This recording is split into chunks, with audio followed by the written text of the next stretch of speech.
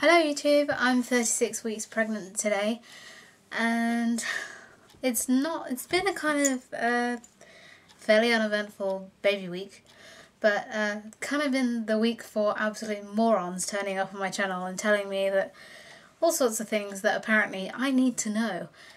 Things like, well mainly it's to do with my appearance, but you know, you're always going to get some idiot who decides that it's really funny to tell you these things. So um, try not to let that bother me too much. Generally it doesn't, but I'm always just a little bit surprised when these things happen because I I don't come across people like that in my everyday life. Um, so it's just always a bit startling to me that there are people actually like that in the world who will say these things to complete strangers and have absolutely no regard for how they might feel Anyway, never mind. If there weren't any dickwads in the world, I'm sure it would be much less fun, so... Um... Been out and about um, a couple of times this week, and I'm noticing, obviously, you know, it's really very noticeable now that I'm pregnant, and there have been a few kind of double takes. Uh, but nothing too awesome, like, nothing too awful. It's fine though. Um, I had a whole, whole weekend practically of yoga. Um, I had a session on Saturday which was a couple of hours long and then on Sunday I went, me and my mum went to a three hour long workshop to do with um, labour and birthing and um, it was really helpful, it was really practical, lots of really good positions, a lot of which I already knew from the yoga that I had been doing but still really good to go because she gave us some handouts and as a little present she gave us these massage balls. And uh, I discovered that I think the yoga has really been helping with my lower back pain which isn't too bad and it's fine it's just it's a bit stiff in the mornings and can kind of get a bit achy throughout the day as the day progresses so things like I discovered that the yoga and just keeping my pelvis moving really helps and um, warmth, so things like sitting on a warm bath, that helps. Um, trying not to stand up for too long, you know, those kind of things. So, yeah, um, and the usual sort of pelvic floor pain. I'm waking up quite a few times in the night, but it's not bothering me like too much, like it doesn't really affect me. Normally it's just that I have to pee, uh, which is really regular now. Uh, you know, it's at least like once every hour to hour and a half I have to get up and pee. Um, not during the night. I mean, I'll probably only get up like once during the night. Um, but during the day, definitely, like, you know. We've started to talk, to talk about, um, I, I put my first draft of my baby plan together, my birth plan together, uh, as a rough guide and it's mainly more for my midwife, who I'm going to be seeing on Wednesday. It's just to sort of let her know what I would like to avoid. And I'm going to be doing stuff uh, for my mom and my sister, who are going to be my birthing partners, just to make sure that they're aware of what I found helpful from these yoga workshops. You know, like a lot of the breathing is really good. And we did this really interesting exercise where um, the partner would like pinch on the inside of the of my thigh. Um, so in the, this case, it was my mom. She just pinched like a, a good wad of skin from the inside of my thigh to simulate and a contraction and practicing breathing through them. That was really helpful. Um, and the first time she gave us, the instructor, she gave us no instruction whatsoever how to do it. And then the second time she gave us more instruction. And the second time was definitely much more manageable you know, so anyway, there's no telling what the real thing is going to be like. But, you know, I guess that's part of the excitement, is that you just don't know. But generally, on the whole, I feel quite confident about giving birth, and I'm hoping that I'm going to get to do it at home. But I still haven't confirmed that with my midwife. I have tried, but she's either been on leave or, you know, she's just not been available.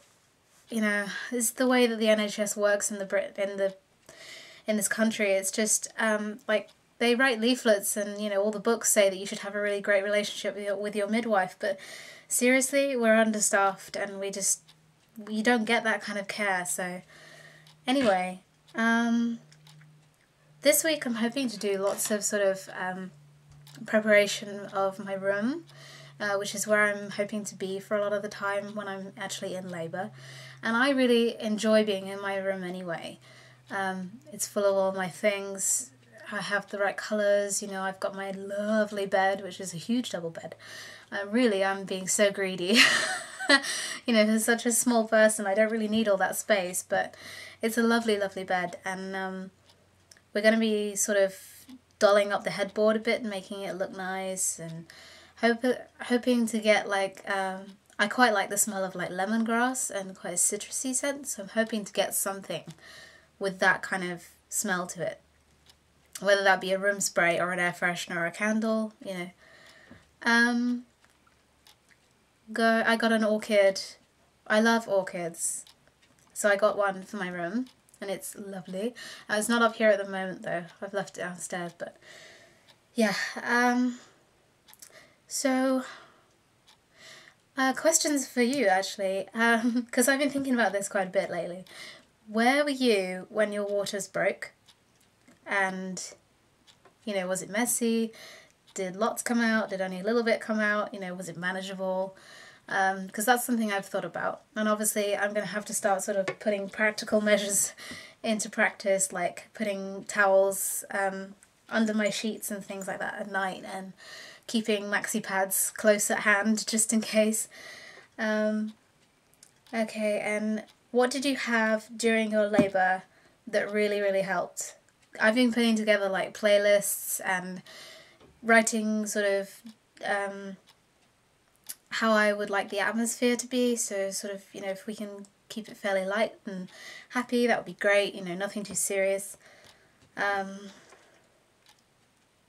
any smells, any foods, um, how did it go? You know, what was really helpful to you during your labour and your birth? So, oh, not very long now. Everyone keeps telling me that. They're like, oh, not long now, not long now. Nobody said the kind of, wow, you haven't popped yet? You look huge thing. But I'm sure there'll be someone who says it because there always is. Um, so hopefully this week I won't get any, you know, I won't get many more sort of moronic people turning up on my channel telling me these these things.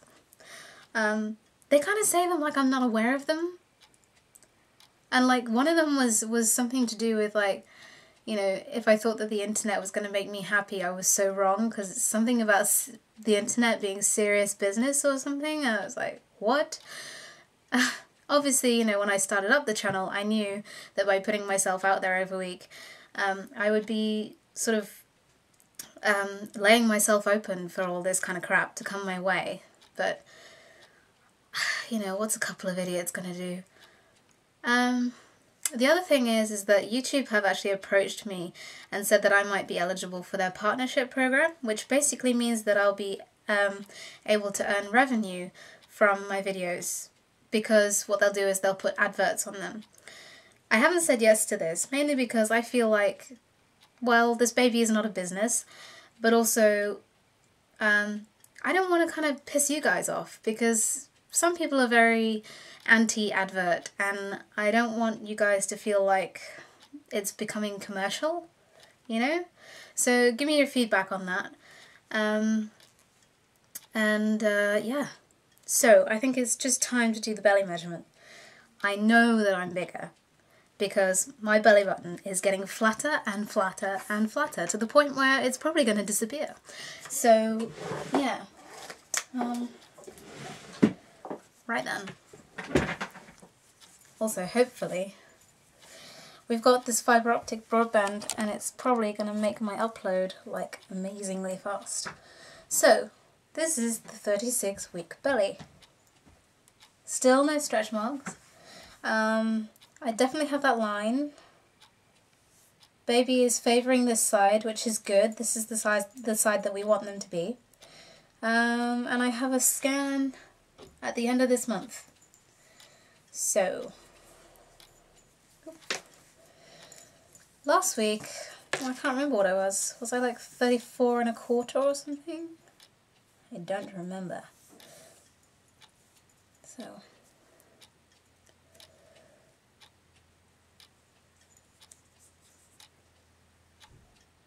No, I can't have been that because I'm like 33 and a half now. So that concludes my 36 week update. I'll see you guys next week. Uh, take care. Bye.